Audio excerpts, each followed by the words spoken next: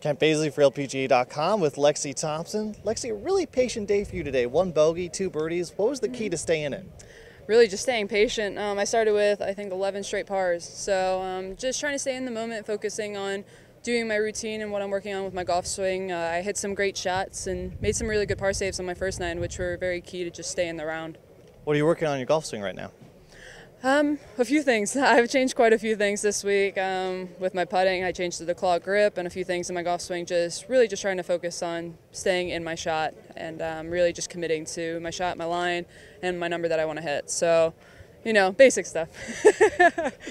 and taking a step back, this is your 13th U.S. Women's Open at the age of 24. Yeah. How do you do? You take a step back and think about how crazy that is and how incredible accomplishment it is. I only think about it when you guys say it. I'm in the press conferences coming into this week. Um, you know, I definitely take a step back and I'm like, wow, that's pretty amazing. Um, but you know, I always say the first time I made it to the U.S. Women's Open, that's when I realized I wanted to be out here and playing for a living, um, playing on the, out on the LPGA Tour. So it's been a dream of mine, and you know, this is the biggest tournament of the year. So I always love coming back. Good luck the rest of the week. Thanks, Lexi. Thank you.